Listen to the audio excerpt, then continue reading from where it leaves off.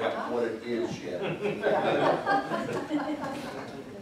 Uh, Good afternoon at this point, Madam Chair, members of the board. It is not lost on me that it is 12:10 and I stand between you, well, and myself and lunch.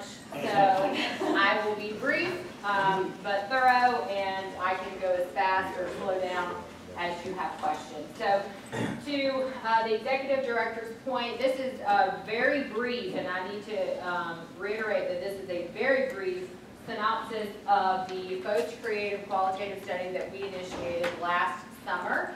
And due to governing board agenda items that have crept up since the conclusion of this study, again last summer, uh, we are now presenting. So this study was started and completed again in the summer of 2018, so there was no delay on the results or anything like that. It was just due to governing board agenda items. We are um, now getting it uh, in front of you. So what, as a reminder, the district did is we looked at four common areas with Post Creative as a company out of Gainesville to understand better the brand awareness, brand perce- perception, audience communication, and then we talked, um, they called it internal empowerment, but we talked to employees about what the district can do to better serve them in communication and outreach efforts. Those were four main pillars. So the research methodology that we used, uh, some of the venues and outlets that we used were through social media, the website, external communication, and then we, they analyzed media coverage. And they did that through survey and interview questions, qualitative and quantitative data. We had a high response from the general public and district employees, and we had what we consider a low response from the board and government legislators. So this is just a list of different types of organization groups that they uh, surveyed. And we worked with them to identify what those groups would be based on our stakeholder input. We had uh, 305 responses, which based on the population size of our district is an appropriate response rate. So we were very, very um, happy with the response rate. So this, again, is a very high-level uh, executive summary of the findings. So the average perception of the district is positive. So on a one to six scale, you can see that we're right there um, at that four range, four, five range, as far as how people perceive the district to be effective. Again, this was an effectiveness question about um, handling their primary and secondary water concerns, and we're going to talk about what those primary and secondary water concerns. So while we uh, think that this is great, it definitely leaves uh, room for improvement in our opinion and from a leadership perspective at looking at how can we better target our communications, target the work that we're doing, and then not necessarily, we certainly won't change the four core mission areas of the district, but the way in which we execute those and talk about them, we can do a better job. So this was a uh, graph of district staff, and I understand that the legend at the top is hard to see. What's important for your purposes is that this is bad and this side is good. So darker is what we don't want, moving to right is what we do want. And so what the, uh, this graph shows is that uh, district staff score the highest in knowledge and in friendliness. So people generally think that they know what they're talking about and that we're friendly. What we score the lowest in, and again, I think low is, we need to be, understand that it's uh, relative to the other scores, where responsiveness, though it was still slightly positive. So again, lots of room, and you can see responsiveness is there on the far side. It was the lowest of the four. Um, still slightly positive, but again, room for improvement. Uh, so when we asked about, I mentioned those primary and secondary concerns of the public before, and of the five that you see listed here, springs preservation, water quality, recreation, water supply, and agriculture slash, slash business use, springs preservation was overwhelmingly the um, highest concern of those 305 responses with water quality, recreation, water supply, and then agriculture and business use you see down. So what this means from a communication and outreach standpoint, whether it's not just for the com staff, but also for all district staff, is that if we can take the work that we're doing and we can wrap it in a springs preservation bow or tie it back to a springs preservation message, which basically everything we do can be tied back to a springs preservation message, and that's going to be more readily accepted by the public than if we talk about it from a recreation or water supply standpoint. So that is extremely helpful, again, from tailoring messages uh, out of our shop. So this was a chart of the most frequented uh, land or water resource use in the district. Springs and rivers are our most frequented. This is no surprise to me.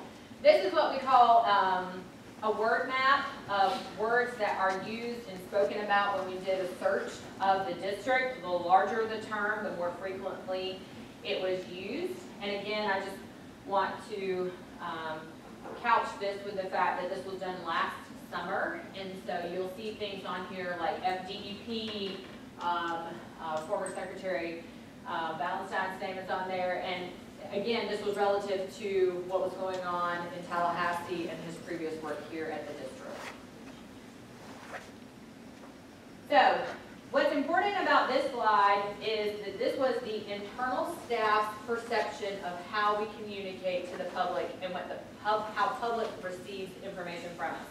So district staff said, the public receives their information from us and they want to receive it through our website and through monthly meetings. That was our opinion. That's what we thought that the public wanted to receive information from us. Well, when we asked the public how they wanted to receive from us, they said, well, actually, you're incorrect. We want to hear from you, and what we look to you for is on social media, local newspapers, community events. And then, you know, obviously the numbers go down from there. So our internal perception of how we should be communicating versus the actual reality of how we should be communicating weren't the same.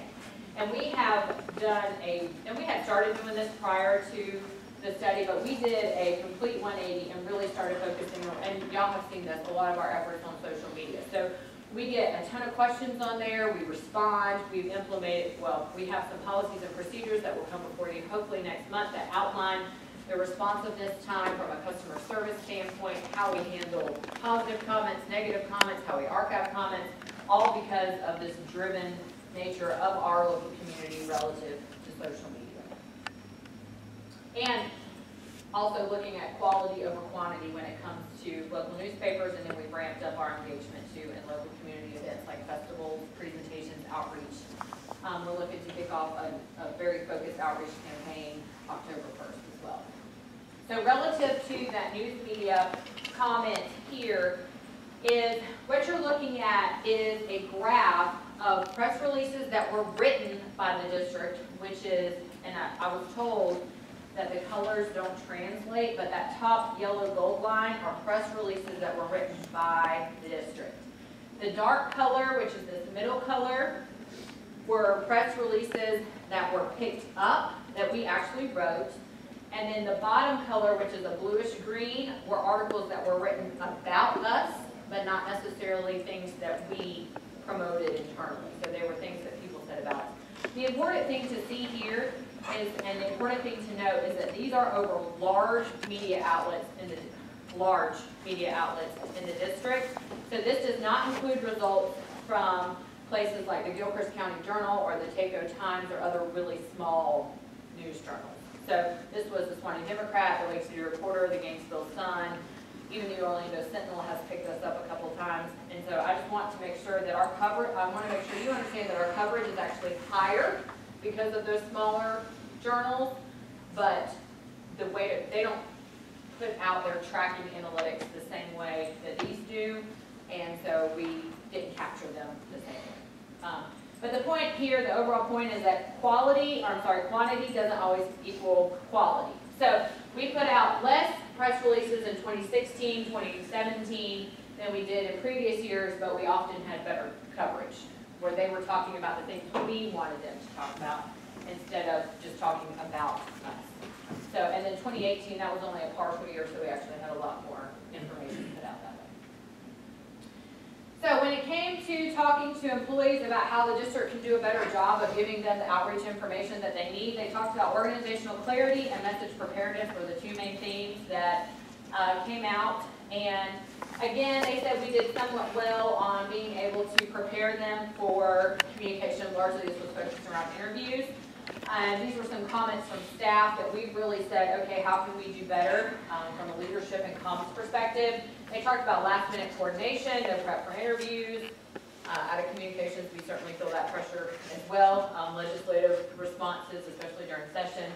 lack of knowledge, they didn't have a holistic understanding of things that were going on in the district, um, and then talking points for hot topics. So I could give you a laundry list of ten things that we have done since this time to help overcome this problem. Things as simple as um, pooling all of our talking points in a library, all the way to um, a project coordination meeting that is coming out of um, the executive level leadership team where people from all the program areas are getting together to talk about specific projects, monitoring, so that we're not communicating in silos. So it has really been um, an effort out of the executive director's office to say, okay, how can we better communicate across all of our program areas so people don't feel like they're unprepared?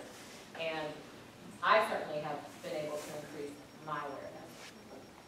So the next step, uh, district brain guide, and these, again, these are very communication office focused, but because of largely this effort, but um, district brain guide and templates and materials, again, we've got that, it's going around for final review right now. Um, media and public workshop training, talking points, library and access, which I just mentioned. Outreach procedures and standards, this again, I hope to bring before y'all uh, next month.